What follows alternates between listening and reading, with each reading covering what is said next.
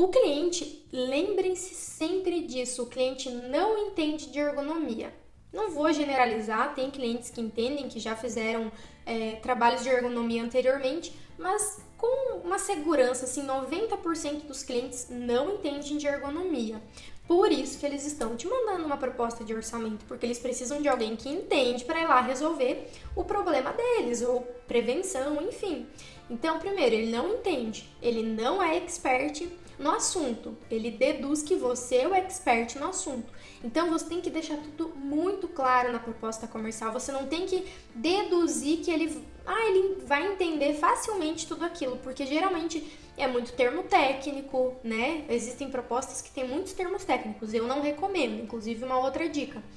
É confuso. Imagina, o cliente nunca fez uma análise ergonômica do trabalho.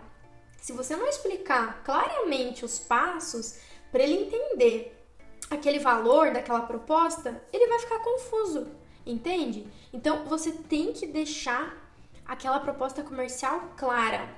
E no começo, é bacana fazer a seguinte é, dinâmica quando você está começando.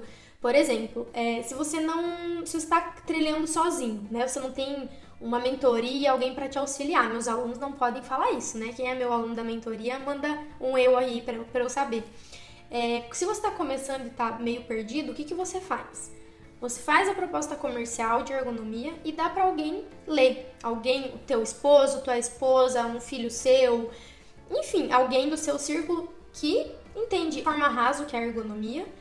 Explica o porquê só do cliente ter solicitado isso, porque ele precisa saber o motivo e dá a proposta para ele ler. Se ele entender de forma clara o que, que é, quanto custa, como que vai funcionar, o que está incluso, o que, que não está, se ele entender, Parabéns! Tua proposta comercial não está confusa, ela está clara, objetiva, porque geralmente alguém que solicita um, uma proposta de, de, de orçamento, que solicita um orçamento pra gente, não é alguém, não é ergonomista.